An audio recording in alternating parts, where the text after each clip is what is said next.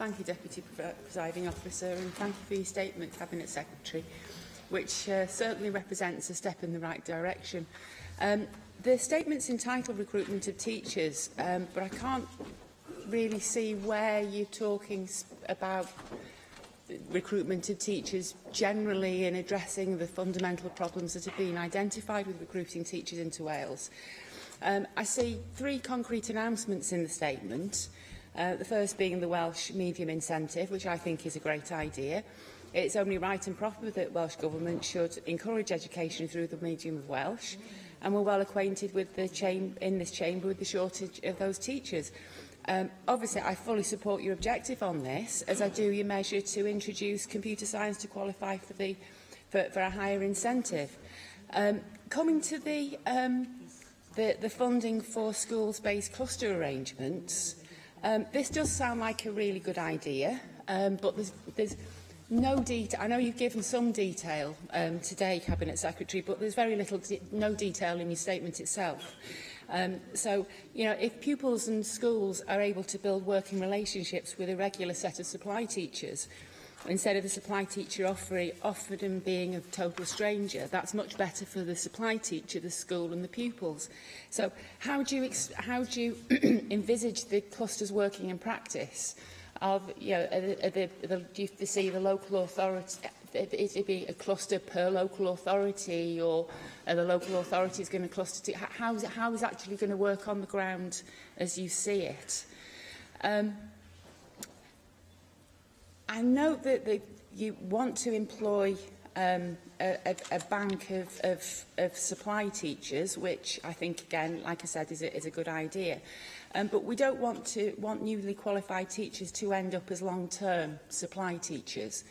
So I, I would like to see some sort of proposal um, or to hear about what work you're doing to, to you know, to, to make sure that doesn't happen.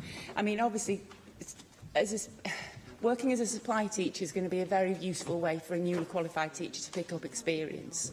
So I'm not going to knock the supply teacher route at all.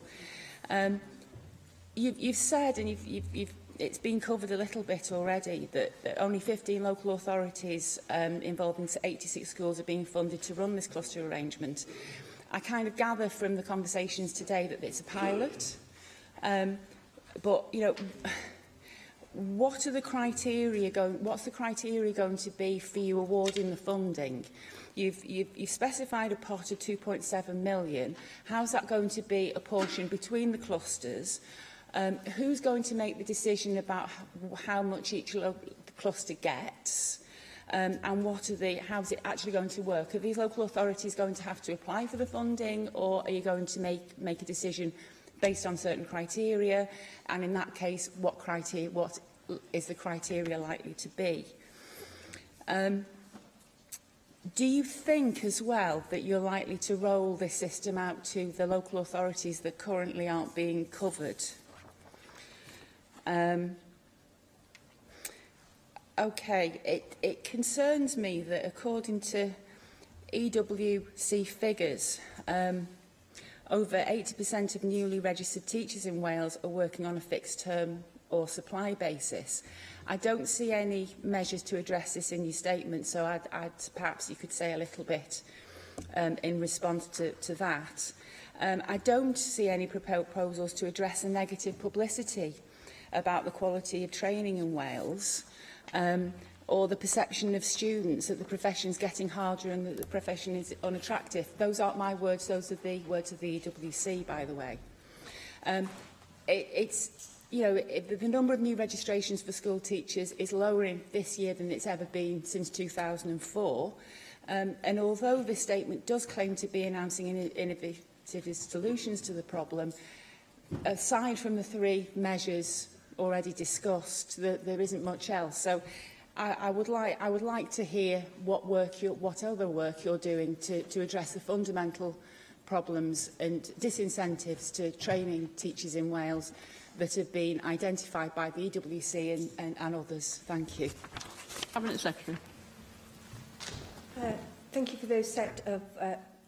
questions. Um, it is important that we uh, prioritise uh, those who will go on to be our teachers in our bilingual and Welsh medium schools. That's why uh, Welsh is a priority subject for incentives, attracting the highest level of incentives to go on to a PGCE.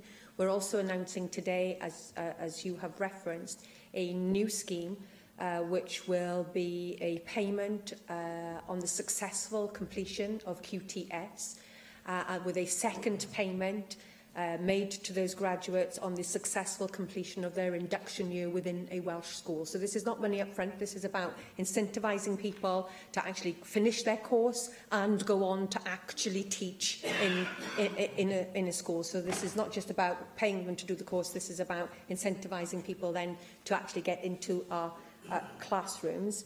Um, you made a very important point about how we can move people uh, from the QTS scheme onto permanent uh, positions. What we do know is that QTS, newly qualified teachers, do make up a significant part of our supply teaching uh, load. And therefore, it's really important to get them onto a successful trajectory for the start of their teaching career.